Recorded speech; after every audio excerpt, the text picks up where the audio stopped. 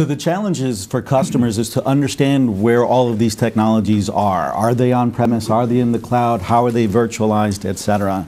And so when you were talking about uh, as you move to uh, consolidated data centers, you know, do you decide to keep the old system and move it into the new system? The metaphor I thought is when you move into a new house, do you keep that thing from the old, you know, from your old house into the new house and you think, oh gosh, I had that from three moves ago. Right. I'm just moving it into a new data center. Our software is helping you track all of this. And so uh, when it also comes into the cloud, we help you with that transition. We have integration with Amazon Web Services. So as the as Amazon gives you that uh, footprint in an XML file, we'll ingest that XML file automatically and help you document all those systems as they're virtualized. So as customers move from on-premise to the cloud, we hold your hand along the way.